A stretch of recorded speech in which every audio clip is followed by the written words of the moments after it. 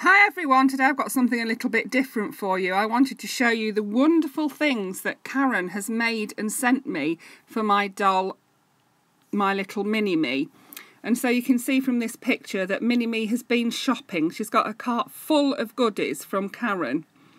Here she is at the checkout ready to pay and she has got her handbag that Karen made for her along with her purse and even a miniature credit card and even some miniature money. So from then we go to the car and unfortunately poor mini me needs a bigger car. There is just simply not enough room in her boot to fit all of this shopping.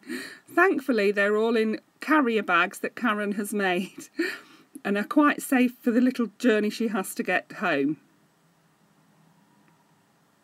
Once she gets home she's putting all her shopping away on this shelving all of the cans, the bars of chocolate, boxes of biscuits, the cosmetics, all the wonderful things that Karen has made for me. It's just brilliant.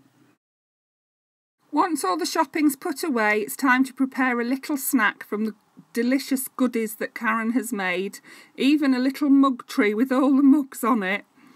And then after we've prepared the snack, it's time for a well-earned rest. So we sit down with our lovely cup of coffee in the nice mug that Karen made us. We have a lovely piece of chocolate cake made by Karen also, and we relax with our dollies. I hope you enjoyed that. Thank you for watching. Bye for now.